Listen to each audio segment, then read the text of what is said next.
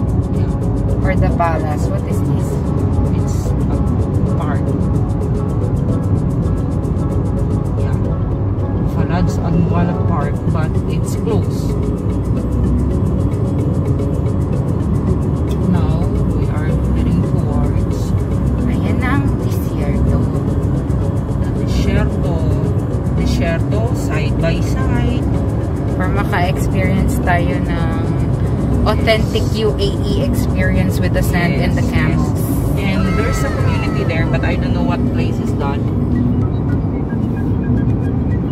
It's uh, for sure it's a local community because only locals are living in this area.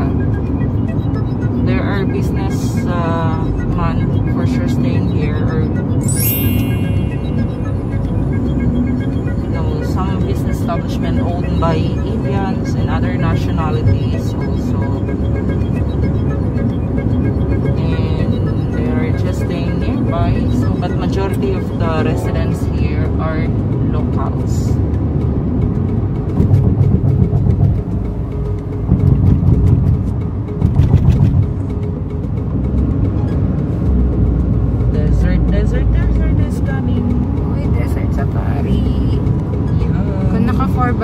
4x4 tayo siguro. yes 4x4 but we have 2x2 now 1 by 1. dos por dos pa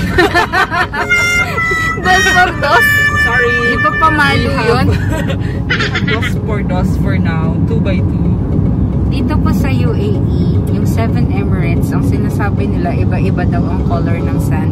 yes Right now, we're here in Umm Al Quwain Umm Al Quwain. Yan ang kulay ng sand nila. Iba din ang kulay ng sand sa Sharjah, sa Dubai, Abu Dhabi, Umm Al Quwain, at saka ano pa yung na-miss ko na ano, Fujairah, Ras Al Khaimah. Yun ang Seven Emirates. Yes. So, we are in one of the seven Emirates. Pero itong area na to, it seems that this is just a small, uh, what do you call this? A small uh, village.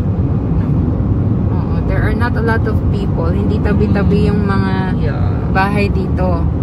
Kaya makakakita ka ng mga camel. Mamaya makakakita tayo ng mga camel. Oh my God! Here Al Rashidiyah. What does Yeah. that? Actually, there's a Rashidia area also in Ajman. Ah, see. a local community area.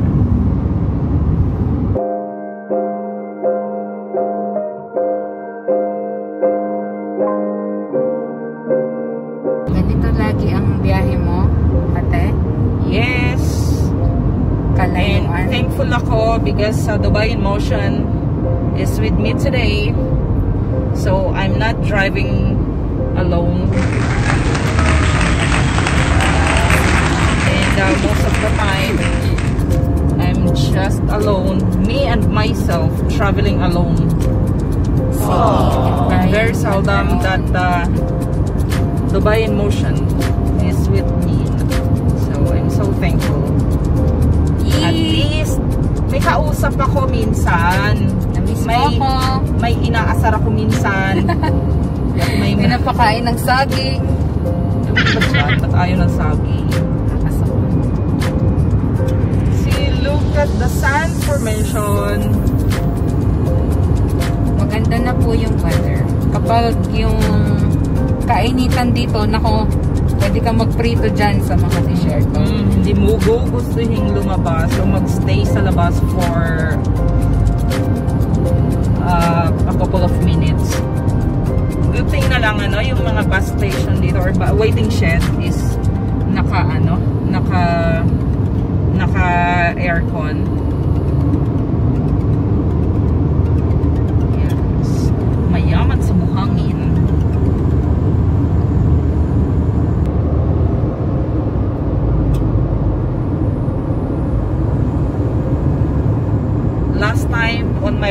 Side I saw um, like more than 20 camels.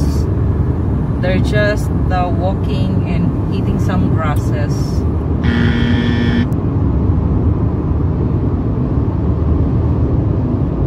Hope we can see some camels today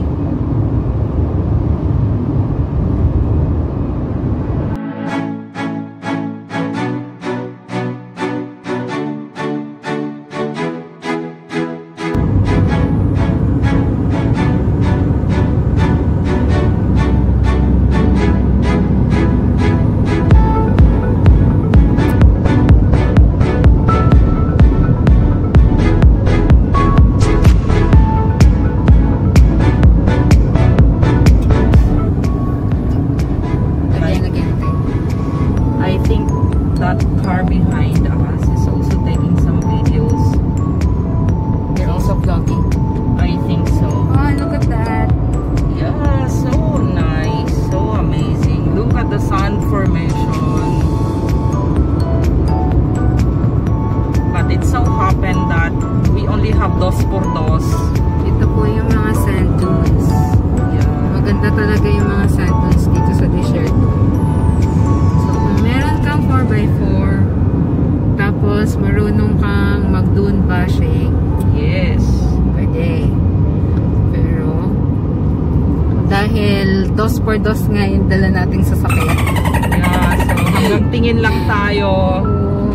The future, we can have a dos uh, 4x4.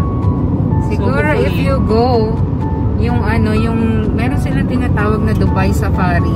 Yeah. Pero ano po yun, hindi po yun mga hayop. Actually, camel ang makikita mo sa Dubai Safari na tinatawag nila. Wow! Ganda, no? Pero yung Dubai Safari dito, yan, dadaan kayo sa ganyan using a 4x4. Ang mga nagmamaneho po nun is trained do that. Train to do the namin. Hindi namin kaya yung ginagawa nila. Yes, and I really hope I can drive and I can do uh, the sand uh, dunes back washing. What's that? Oo, dun bashing. Mm, dune washing. Wow, it's so close. Ang ganda yun. Can we just stop for a while? Yeah.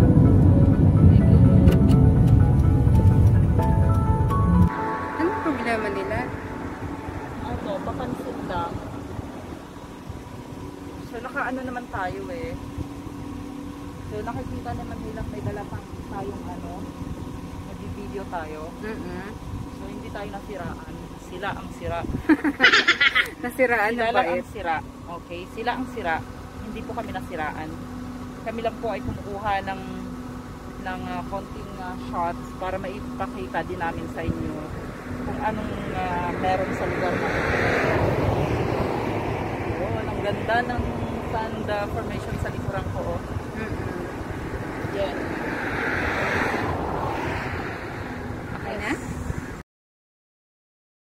12 seconds later.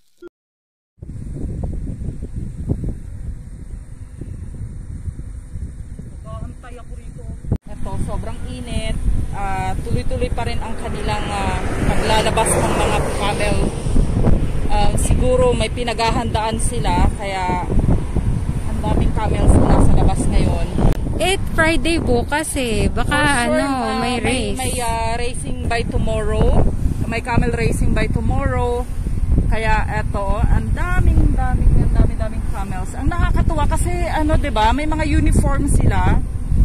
Isa lang siguro may ari niyan. Naka-uniform sa mga camels. Ang sabi, Taray. ang sabi sa akin nung Arab friend ko, millions yung mga pang-race na mga camel. Yes. Pag yung mga ano, Ah, wala eh, wala tayong chance na manood ng live na ano. Hindi ko alam kung paano manood ng live na na racing ng camel. At napakabilis ng camel kumpara sa kabayo. Grabe sila kung tumakbo. Ganun ba? Yes, as in. Nangangagat yan kaya. Pero sila kasi, yung mga camels na yan, friendly yan, Miza. Okay? Hi, kagatin ka pa niyan. So, kapipol, sunog na ang mamala nyo. Okay? Hindi naman mainit eh. Wait eh, ba't sila nakapag there. But it's scary, right?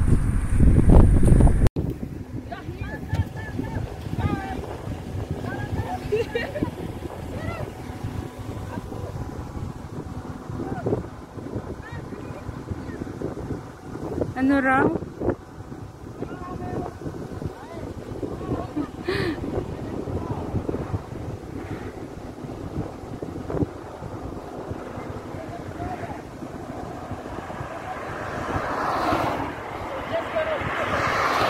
And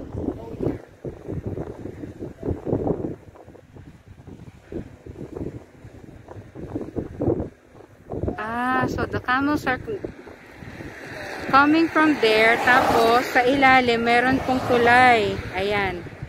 Freeway ito. Tapos, ah, yan na sila. Ayan na sila. hello camel. Uh, camel. hello camel. Ate, tinatawag mo naman silang camel, te. No, I'm calling them. I'm calling the camel.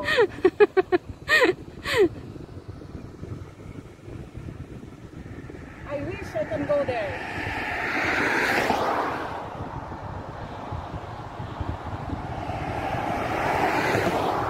Wala kayong mag invite sa atin. Ba't wala kang friend na shake? Ayoko na. I have banana shake. Avocado shake.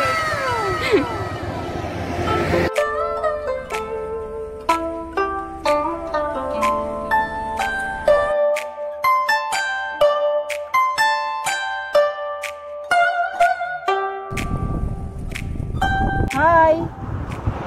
Hi! Wow! Nakakaaliw, nakakaaliw kasi. Hi! Hello! We're fine. See? We're fine. We're we're fine. We're we're fine. We're fine. Actually, sunog na kami. Na ah, naaliw lang ako sa camel kaya kami tumungtong dito sa ibabaw ng kulay.